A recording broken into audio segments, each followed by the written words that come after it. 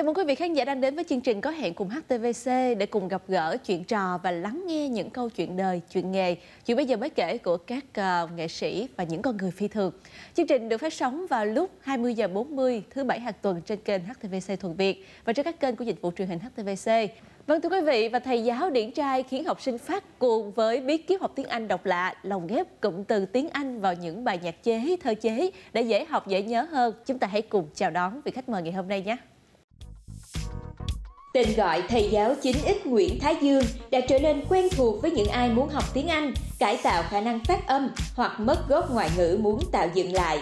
Sức hút của thầy giáo 9X này chính là việc truyền cảm hứng học Anh văn, cổ vũ bạn trẻ học tiếng Anh, chia sẻ những kiến thức bổ ích cùng những suy nghĩ tích cực đến học trò thông qua các bài hát biến tấu.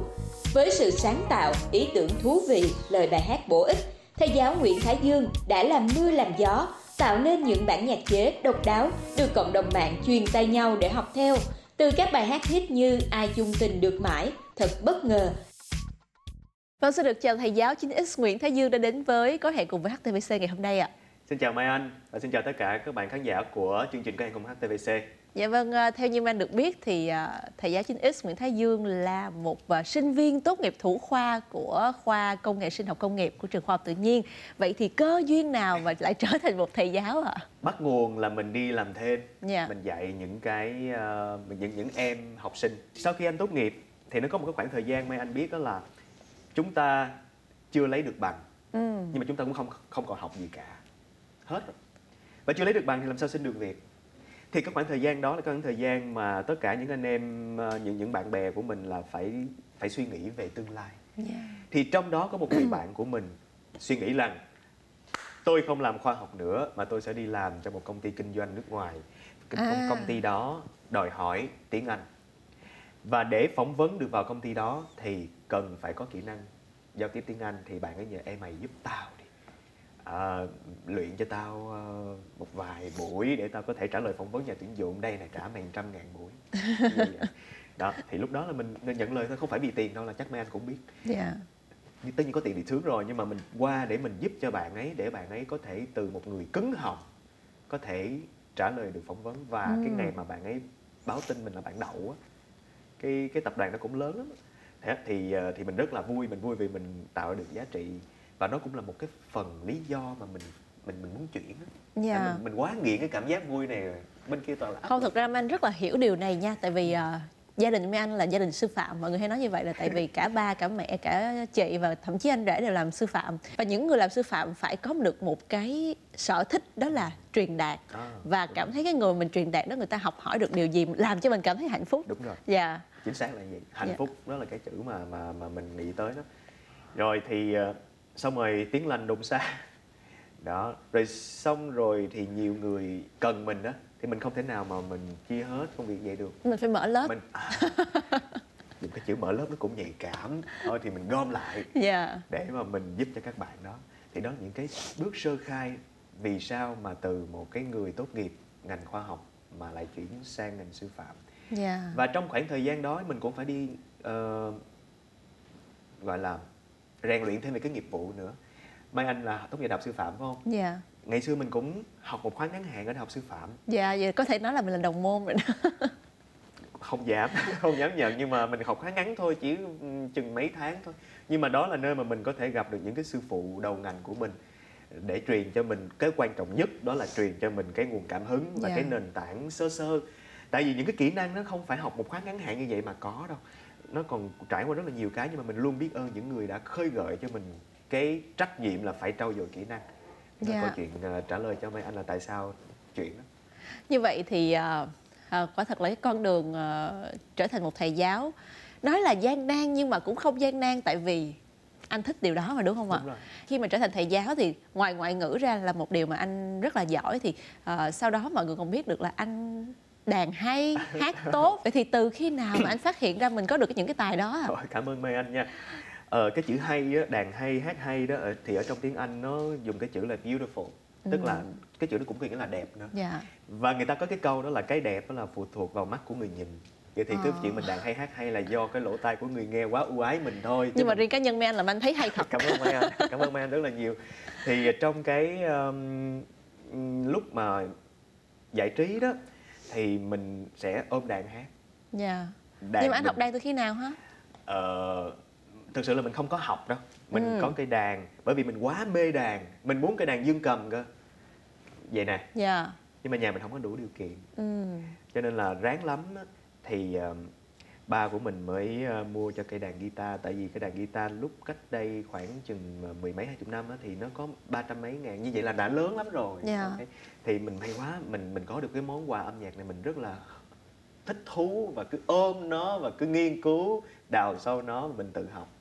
Đó rồi à, sau này khi mà đi học cấp 3 thì có mấy anh ở trong trường á, cũng ngồi đàn hát thì mình lại mình nghe. À, mình ngưỡng mộ quá mấy anh chỉ cho em với thì mấy anh cũng chỉ chỉ từ chút chút chút vậy thôi chứ mình cũng không gọi là thật sự học. Cho nên nếu mà mấy anh mà có đi học đàn á anh sẽ dễ nhận ra ôi thầy này đâu có biết đàn đâu thầy đàn cho nó ra cái tiếng thôi chứ nó không có kỹ thuật nó không có bài bản. Còn phát hiện là bởi vì người ta thích thì người ta nghe người ta theo dõi thì mình cảm thấy là, ờ cũng có một bộ phận thích nhạc của mình thích mình hát thích mình đàn cho nghe thì thôi mình phục vụ cho bộ Dạ. phận khán giả đó. Và trước khi mà việc chúng ta có thể phục vụ cho một bộ phận khán giả là nói đến chuyện mọi người biết đến mình cái đã. Vậy thì anh có nhớ là mình đã sáng tác bao nhiêu bài hát và Ừ. nổi lên được từ bài hát nào? Ạ mình à, sáng tác thì từ rất là lâu. Nhưng mà mình nổi á không phải là nhờ sáng tác mà nhờ chế tác ừ. Thì à, cách đây khoảng uh, 6 năm mình nhớ là khoảng năm 2016 lúc đó là mình đang chạy xe ở ngoài đường.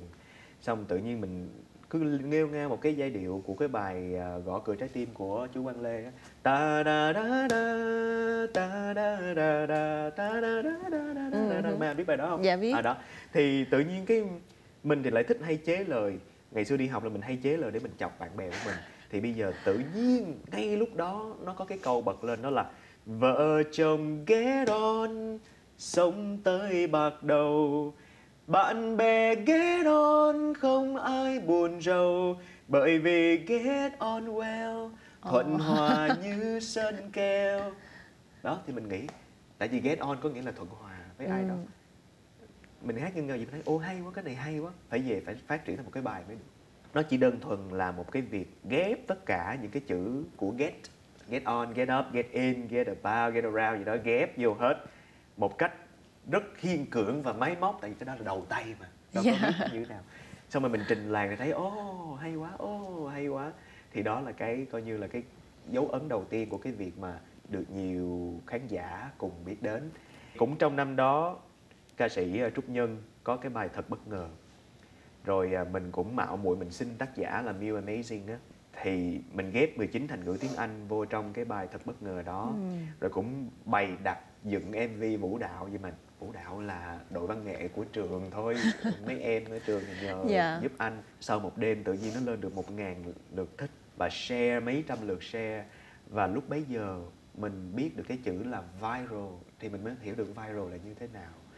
Rồi sáng hôm sau thấy hình mình ở trên kênh 14 wow. Kênh 14 lúc đó cái bài Bỗng báo dưng đầu nổi tiên tiếng. đúng rồi.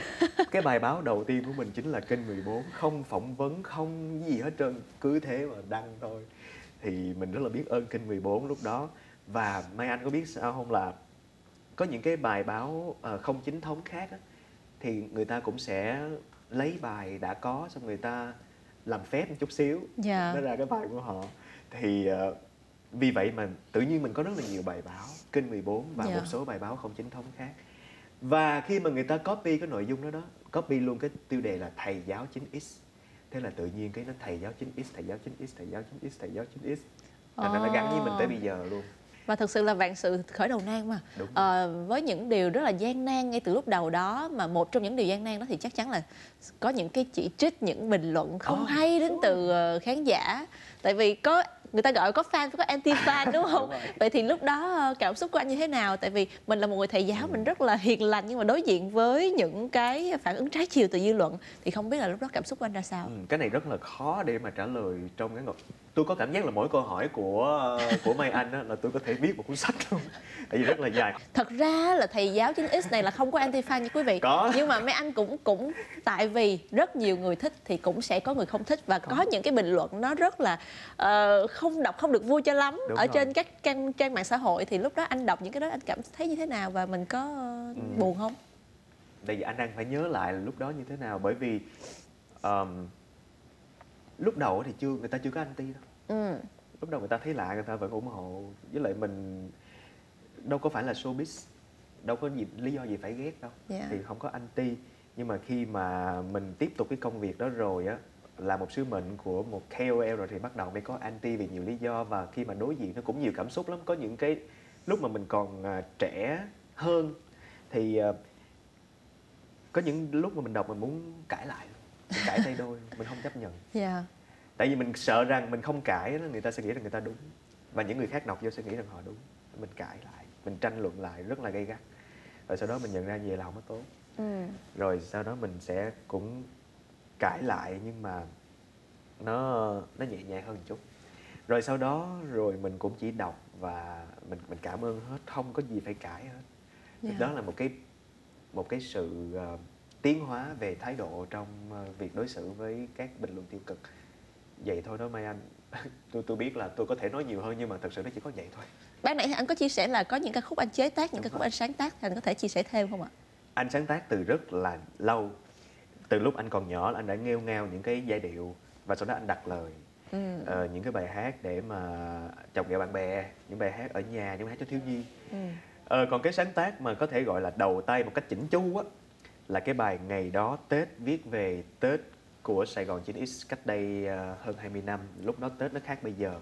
Thì ờ, bài hát đó ra đời vào khoảng năm 2017 Dạ. đó. Thì ờ, và sau đó là một chuỗi những cái bài hát về Sài Gòn thời 9X Ừ. như là món quà mình tặng cho tuổi thơ của mình. Nhưng mà không ai biết đến không ai nghe. Nhưng mà lúc đó mình rất là bình thường mình nghĩ ủa cái công việc của mình là giáo viên mà đâu phải là nhạc sĩ đâu phải là ca sĩ đâu phải gì đâu. Thôi thì mình sáng tác theo cái nư của mình muốn để mình tìm người đồng điệu. Thì nếu chỉ cần một người nghe và thích và đồng cảm với mình là mình đã cảm thấy rất là vui rồi. Tìm tìm bạn tâm giao đâu cần nhiều đâu mà. Anh Dạ. đó. Thì cứ thế mình cứ thế mà cho ra lò những cái bài hát như vậy như là một cái sở thích. Không có cưỡng cầu không có mong đợi sẽ có một cái giá trị vật chất nào từ cái đó cả. Dạ. thì à, đến mùa dịch năm 2021 giữa lúc mà thành phố Hồ Chí Minh đang giãn cách thì cái bài Sài Gòn tôi sẽ cũng là một cái cảm xúc thay vì viết lên Facebook thành cái tweet thì bây giờ viết thành music vậy thôi Ừ. thì à, cái bài đó tôi nghĩ là trong cái giai đoạn đó với cái giai điệu dễ nghe đó với cái ca từ dễ hiểu đó nó đạt được một cái gì đó để mà nó lan tỏa cái độ lan tỏa của cái bài Sài Gòn tôi sẽ đó, đó Dạ. nó nó đã giúp cho mình có một cái ờ, định nghĩa ở trên Google và nó định nghĩa là nghệ sĩ âm nhạc.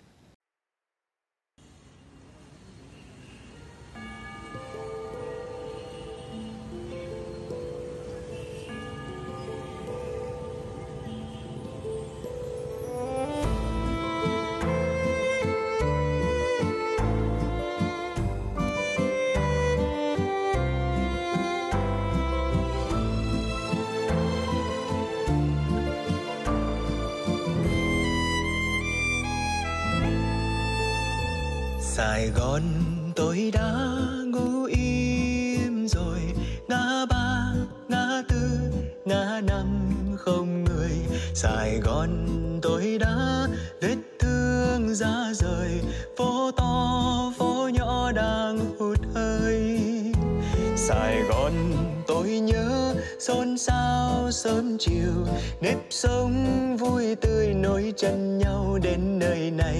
Sài Gòn giờ đây xanh sao tiêu điều, chút kiêu hãnh xưa theo làn mây.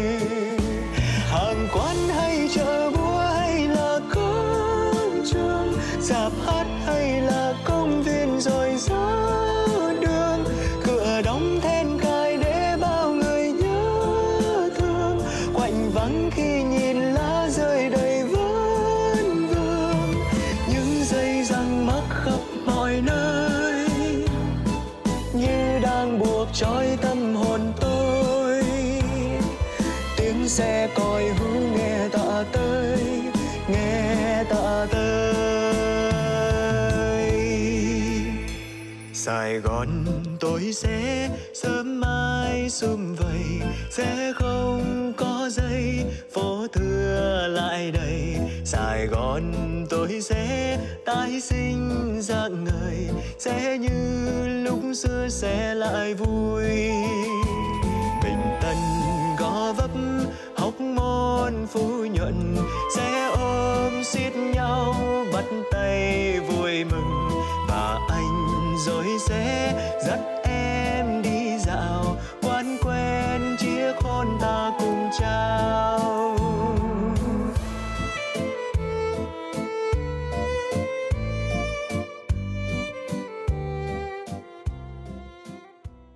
Và trong số những ca khúc mà anh sáng tác có một ca khúc là thành phố uh, Dì Kỳ. Đúng rồi. Dạ, thành phố Dì Kỳ cũng đã được dựng thành kịch và được diễn tại sân khấu uh, IDCAP.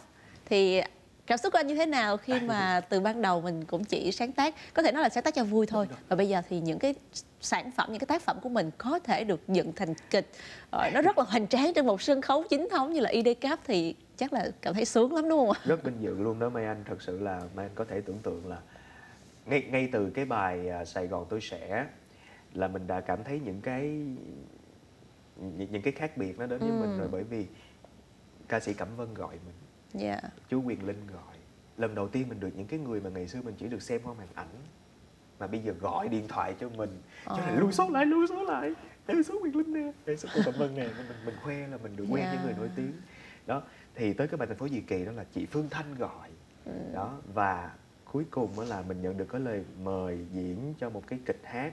Thực ra không phải là ở trên sân khấu IDCAP đâu mà diễn chung với đội kịch IDCAP thôi. Dạ. trong đó có nghệ sĩ ưu tú Thành Lộc và đạo diễn Đình Toàn.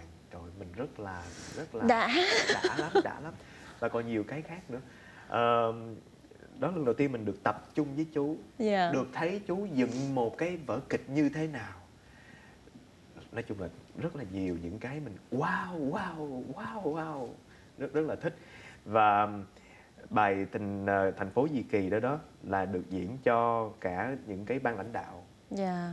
của thành phố xem thì xem một lần xong rồi người ta đặt hàng để mà diễn thêm vài suất nữa ở những cái chương trình khác cũng diễn chung với chú luôn Dạ. thế thì đó cảm xúc của mình là rất vui rất là vinh hạnh sướng lắm mấy anh Dạ và ca khúc đó thì anh lấy cảm hứng ờ, từ ờ, Sài Gòn tôi sẽ và À. thêm những điều gì nữa để có Đúng. thể tạo nên một cái tác phẩm là thành phố Dì Kỳ ạ? Lúc đó là thời gian còn giãn cách. Đi chợ đâu được. Dạ. không có đi đâu được hết trơn á. Thì người ta phát cơm miễn phí đi Dạ. từng nhà phát cơm miễn phí. Mình rất là xúc động về cái hình ảnh đó. Thì rồi mình cũng- nhớ lại ngay cái thành phố Hồ Chí Minh này thì cũng có rất là nhiều những cái người ta cho không như vậy như là trà đá cho không. Rồi xe ôm mình hỏi là người ta sẽ trả lời. Rồi xin cái gì cũng cho đó. Dạ. người miền Nam mình á khi mà đi mua cái gì người ta không nói là bán cho em một tô gì đâu ta người ta nói gì cho, Cho- con cho- tô phở cho con tô phở, cho con tô bún. cho con tô bún cho con đi cho đá dưỡng cho à, lúc đó có những ờ, anh xe ôm công nghệ đó thì ờ, đó là những người trong, cái khoảng thời gian đó được phép lưu thông còn được phép lưu thông thì mấy ảnh đã tình nguyện chở chở Dạ. đồ đi từ thiện Ừ. không có tính tiền. Dạ dạ. cho nên mình mới có cái câu đó là có anh kia chẳng giàu vậy mà trong khó khăn lại chia đôi bánh mì mảnh áo Ừ. đó là như thế thì tất cả những cái sự cho đi cho đi như vậy làm cho mình rất là xúc động Dạ. và mình viết lên cái bài hát thành phố Di Kỳ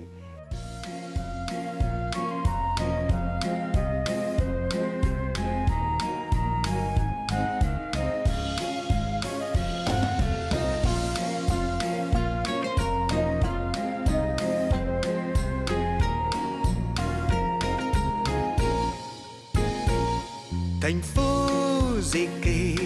Quán cơm hay quán mì? Mình kêu thêm dĩa rau. Sao không tính tiền thêm phí? Thành phố gì Kỳ? Trà đá mang đi. Bao người ngang qua đây vô tư nhâm nhi sao đi cho free? Thành phố gì Kỳ? Có xe ôm quái lạ. Dù không đi quốc nào, nhưng ai hỏi đường cũng đều rộn rã.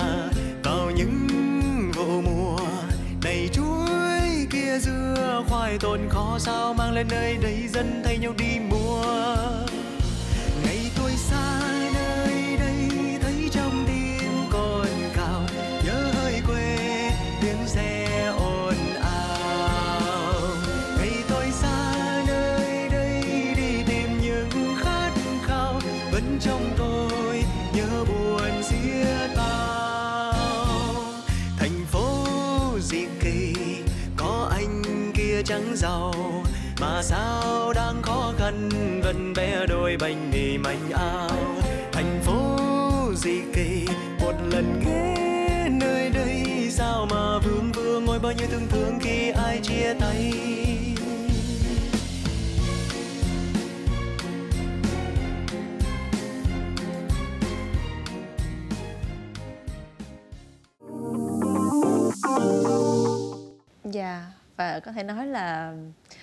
9X Nguyễn Thái Dương là một người rất là nhạy cảm với những gì diễn ra trong đời sống và mang tất cả những chất liệu đó thành một cái tác phẩm nghệ thuật của mình. Hiện tại đang lấn sân vào à, có thể nói lấn sân vào showbiz à, lấn sân vào con đường nghệ thuật thì nó sẽ chiếm một phần lớn thời gian của anh.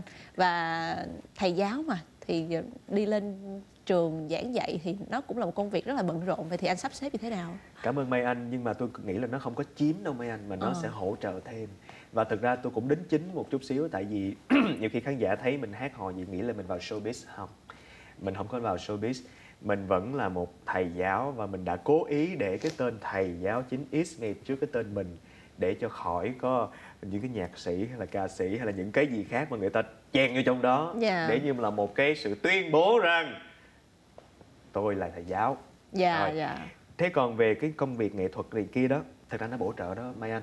Chẳng hạn như là khi mà mình nói chuyện thì mình sẽ tập được cái chuyện tròn vành rõ chữ. Thì khi mình nói chuyện với học trò của mình thì học trò mình được thêm giá trị. dạ Rồi khi mình hát á, thì trong lớp hát cho mấy bạn nghe. Đó, chẳng hạn như mới hôm qua đây thôi, ờ, thay vì là cho bài tập các con làm là là là là mấy câu đó đúng không? Vậy thì bây giờ các con ơi, nếu trả lời đúng được một câu mà bạn 10 bạn nào trả lời nhanh nhất thì thầy sẽ cho lên chuyến tàu để đi sang nước ngoài chơi. Ừ. Thì chuyến tàu đó là gì? Là mình hát cái nhạc của cái nước đó. Chẳng Dạ. hạn nước Nhật thì mình hát cái bài Mùa xuân sang có hoa anh đào la la la la. Rồi nhạc Pháp thì mình sẽ hát Tomberlane. Thì mình thay vì là một cái bài tập đơn thuần thì mình tạo ra cái không khí vui tươi cho các bạn cũng chính nhờ những cái kỹ năng văn nghệ mà mình có được. Cho nên có thể nói với mấy anh là những cái việc nghệ thuật nó bổ trợ thêm thôi dạ nó không có chiếm mất thời gian của mình bởi vì mình đã xác định từ đầu là tôi là thầy giáo thì mình không sợ có bao giờ mà anh gặp những cái tình huống như là đi vào trường xong mà học sinh chạy theo xin chữ ký xin chụp hình có. Ờ, có. Đã lắm. Vui lắm. Ok. Có mình nhớ có lần đó là vào cái trường đó như là ở bà rịa. Thì uh, các các bạn ấy làm rần rần rần rần rần rần rần lên rồi chạy vây quanh lại sập bàn luôn. Để mà xin chữ ký thì mình cảm thấy rất là hạnh phúc về cái chuyện đó mặc dù có hơi ngại với trường chút xíu Dạ. nhưng mà trong bản thân thì thấy sướng. Không mà anh cũng có cái cảm giác mà thấy sướng là được vây quanh xin chữ ký á để em kể cho anh nghe cái câu chuyện một chút xíu. Là có một ờ, hôm nọ em cũng đi làm một chương trình ờ, thiện nguyện và đến các trường cho học bổng thì khi mà đến cái ngôi trường đó rất nhiều các bạn học sinh chạy tới chị ơi cho em xin chữ ký chị ơi xin chữ ký. Hả? Chị ơi chị chi bu ơi cho em xin chữ ký. Ủa? Ủa alo? Ủa? Ủa chị là mai anh nha mấy đứa. Ủa vậy là sướng hả? Nhưng mà cái cảm xúc lúc À. đầu á được các bạn bu Trời lại. ơi. các bạn chạy tới xong rồi các bạn đưa vở để cho mình ký tên rồi chụp hình các với mình các kiểu thì mình vẫn rất là vui cho tới lúc có một bé kêu chị chi bu ơi. Rồi chết. nhưng mà cũng vui chắc Đưa là mình cũng cũng có một cái nét gì đó nhìn cũng mà um, đáng yêu như bạn chi bu vậy thì ngày hôm nay khi mà đến với câu hẹn của HTVC thì chắc là sẵn còn có thầy giáo ở đây mà mình không hỏi về bí quyết học tập thì nó cũng phí đúng không ạ ok nên là có thể chia sẻ một chút về ờ, kinh nghiệm học ngoại ngữ, học tiếng Anh ờ, với những quý vị khán giả, đặc biệt là những ai đang ờ, khá là vất vả trong việc là học vào tiếng Anh. ạ. Cảm ơn Mai Anh lại thêm một câu hỏi nữa để thêm một chương nữa trong cuốn sách ờ, của tôi cuốn sách vô hình cho các bạn. Thế thì ờ, dạo gần đây người ta hay nói về cái gọi là bí kíp Dạ. và truyền cảm hứng. Không biết Mai Anh Mai Anh thì đã không theo ngành ờ, sư phạm từ lâu rồi á. Dạ. Chứ, chứ nếu mà Mai Anh ở trong cái ngành này và có có con đi học hay là Mai Anh cũng là một học viên mình sẽ thấy rất là nhiều người người ta sử dụng cái chữ bí kíp Dạ. và truyền cảm hứng. Ừ. Vậy thì bản chất của nó là gì? Nó chả là cái gì hết. Nó chỉ đơn giản là cái việc mình dạy cho dễ hiểu. Khi người ta hiểu được Dạ. là người ta tự nhiên người ta muốn làm, người Dạ. ta muốn chinh phục. Và khi chinh phục được rồi đó, đó là cái bản năng của người ta, bản năng chinh phục mà người ta sẽ muốn thêm, muốn nữa, muốn làm nữa, muốn enjoy, muốn tận hưởng cái cảm giác chinh phục đó. Cho nên là như vậy là mình truyền cảm hứng chứ đâu phải là nhảy nhót là truyền cảm hứng chứ đâu Dạ. phải ca hát là truyền cảm hứng chứ đâu phải làm này làm kia trên top top là truyền cảm hứng đâu đâu Dạ. phải đâu cho nên là tôi nghĩ là đây là một cái chia sẻ không chỉ dành riêng cho các bạn học sinh mà cho cả những à, các em sẽ trở thành giáo viên tương lai. Các em cũng đừng có quá đặt nặng vấn đề mình phải có tài lẻ này kia. Chỉ cần tập trung dạy cho dễ hiểu từng chút một. Chú trọng thực hành nhiều là tự nhiên người ta sẽ có cảm hứng để làm. Dạ. còn mình mà cứ thao thao bất tuyệt thì người ta sẽ mất hứng liền. Dạ. À, và cái lỗi này nó rất là phổ biến. Tôi cũng đã từng như thế. Tôi cũng Ừ. đã từng là một giáo viên non trẻ không có kinh nghiệm chỉ muốn dồn tất cả những gì mình có vào đầu của học sinh thôi. Vì Dạ. mình nghĩ mình thương nó nhưng mà không được. Nhưng Ờ. em nấu một cái món ăn em nói ăn đi mở em nè vô một cái một làm sao mà vô? Phải từng muỗng từng muỗng từng muỗng cho nó tiêu hóa. Thì cái đó là cái cái cái cái truyền cảm hứng và cái bí kíp đó Mai Anh. Dạ. Tôi không biết là em có thất vọng hay không tại vì tôi chả bí kíp chả có cảm hứng gì hết trơn. Nó là như vậy đó À, và cái đó là có có thể nói là một ờ, chia sẻ dành cho người dạy nhưng mà thí dụ như là người học đi À. ví dụ về cho người học đang học tiếng Anh thì Ok. có một điều gì anh có thể chia sẻ cũng vậy để luôn. sau chương trình ngày hôm nay có thể mở sách ra học tiếng Anh liền Rồi, tôi hay nói với lại các ờ, các bạn học trò của tôi đó là em đứng dưới đất, em nhìn lên trên lầu 1, em thấy cao không? Ừ. Làm sao em lên được lầu 1? Em nhúng cái em nhảy lên được không? Hay là em bước một bước lên được không? Hay là em bay lên được không? Quá khó. Không thể nào mà ở dưới, mặt đất mà mình lên lầu 1 như vậy được. Nhưng nhờ cái cầu thang mình bước từng bước một để lên lầu 1. Và không chỉ lầu 1 mà lầu 2, lầu 3, lầu 5, lầu 10, lầu 20, lầu 30 sẽ được hết. Tất cả Dạ. những gì bạn cần đó là thời gian và sự kiên nhẫn.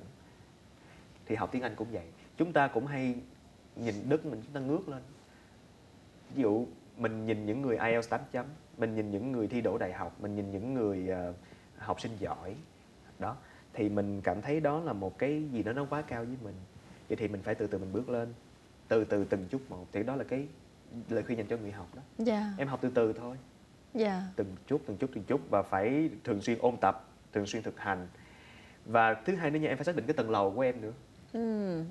tại vì bên trên tầng lầu nó có rất là nhiều những cái thứ ở trên đó. Em ví dụ như mai anh thì mai anh có thể leo chắc là được uh, 5 tầng 7 tầng gì đó. Còn tôi có thể leo được uh, 10 tầng nhưng mà đối một số người chỉ leo được một hai tầng thôi. Thì mình phải xác định được là cái sức của mình tới đâu Dạ. để mình đặt mục tiêu cho đúng. Ừ. và khi mà đã có mục tiêu rồi thì cứ việc đi từng chút một. Và đây là cái mà tôi dành lời khuyên cho các bạn người học này hai thứ thôi. Thứ nhất là không sợ sai. Dạ. Và thứ hai là phải thật sự kiên trì.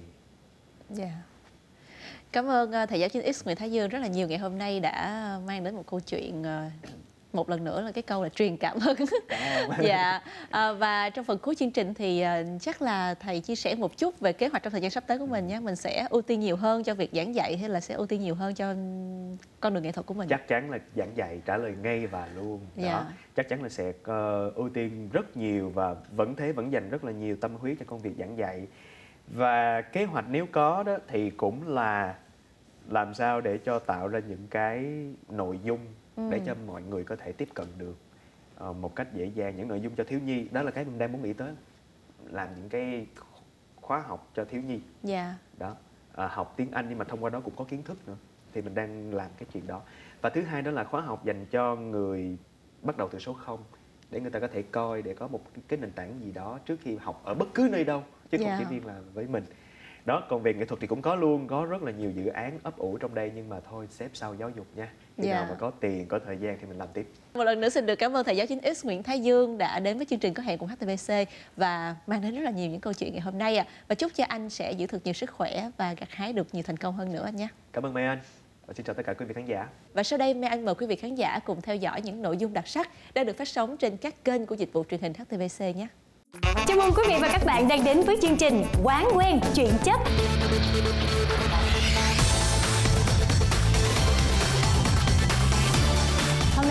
Câu chuyện dài đó nè Tại vì cái chủ đề này em thấy mọi người cũng bàn tán rất là nhiều Và có nhiều ý kiến trái chiều nữa. Cái ý kiến mình nói ra để làm tổn thương người khác xong rồi mình bao biện nó là một sự thẳng thắn thì là vô duyên. Chúng ta có thật nhiều tiền đó. Thì khi mà đã có nhiều tiền rồi thì chị sẽ ước mơ điều gì? chị muốn làm đó chính là chị sẽ mở một cái viện dưỡng lão. Phụ nữ á, dạy nhất là một là chọn yêu em hai là chọn hút thuốc lá. Em chọn đi. Đàn ông làm đẹp theo anh là nên hay không? đàn ông hay là phụ nữ? Cái nhìn ban đầu á cũng ờ, rất là quan trọng Minh Sự rất vui khi được gặp lại tất cả mọi người trong chương trình Về nhà đi ăn. Nhấn chuông. Câu trả lời của mình là gì? Biển báo gốc là Không nhớ. Mình không được vượt lên, cấm vượt, cấm nhảy lên, cấm tu qua. Số 1 có sự thay đổi, biển báo gốc là gì ạ? Hết lệnh cấm vượt. Cái biển khó vậy mà chị nhớ được hay thiệt. Bởi mới nói bóng em ơi, phải làm để luôn. bóng em ơi. Đúng. Không Cho được vui nhà, vui cửa. nha. Trời, tuổi trẻ, Trẻ, nói, nói không không với tai nạn giao thông bên này thì như thế nào? Đủ tải. Đây là biển báo cấm xe ô tô và xe mô tô. khi mà có một cái đường ngang màu đỏ như vậy á, là báo một cái ngõ cụt bế tắc nha, đúng rồi, đúng rồi. Lấy càng nhiều cho càng tốt. Đứng lên. Đúng rồi. Chạy về cùng một phía.